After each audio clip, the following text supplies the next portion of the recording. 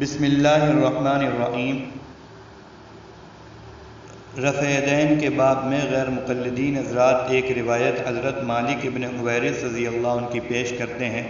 ये रिवायत सही बुखारी जिल नंबर एक, सफ़ा नंबर 102 पर मौजूद है, जिससे ये साबित होती है बात कि हजूर सल्लल्लाहु अलैहि वसल्लम ने रुकू में जाते वक्त और रुकू से उठते वक्त रफ़ैदैन किया।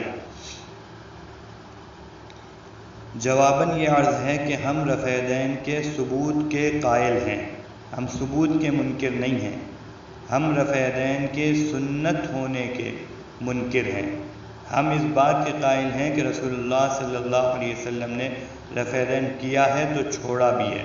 गैर मुकलदीन को ये चाहिए कि वो कोई एक ऐसी सही रिवायत पेश करें जिससे ये साबित होता हो कि आप सल्लल्लाहु अलैहि वसल्लम हमेशा रफ़ैदैन करते थे। हमेशा की रिवायत दिखाना चाहिए। इस रिवायत से सिर्फ़ सबूत साबित होता है, सबूत के हम कायल हैं। रसूलुल्लाह सल्लल्लाहु अलैहि वसल्लम ने रफ़ैदैन किया है तो छोड़ा भी है।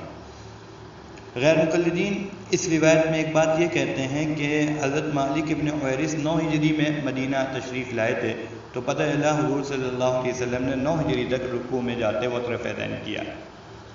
तो कहते हैं, जब नौ हिजरी में साबित हो रहा है तो गोया कि आखिरी अमल हजूर का रफ़ैदैन है। जवाबन ये अर्ज़ है कि नौ हिजरी के बाद, दस हिजरी तक रसूलुल्लाह सल्लल्लाहु अलैहि वसल्लम हयात रहे।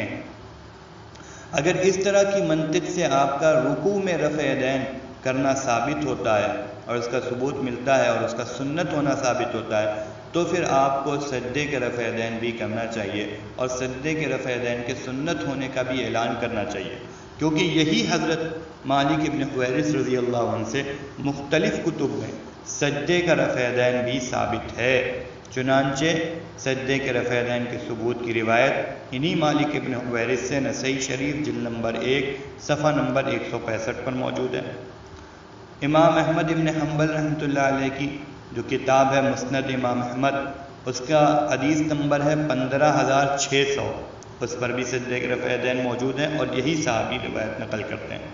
इसी तरीके से मुस्ंद अबी अवाना है उसकी जिल नंबर एक है और हदीस नंबर है पंद्रह सौ नब्बे, एक हज़ार पाँच सौ नब्बे।